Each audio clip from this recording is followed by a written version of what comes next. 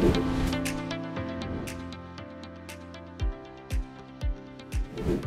there, thank you for tuning in today. I'll be talking about water medication and how to do the correct calculations. I'll break it down into three main parts for you. Are you ready? Let's go!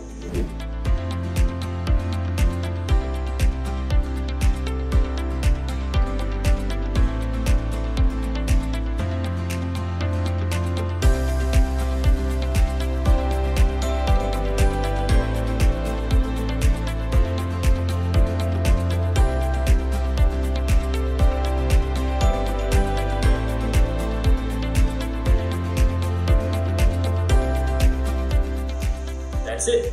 So three main parts to water medication. How much water, how much medication, and how to use a proportioner. I hope that was helpful and tune in next time. Thank you.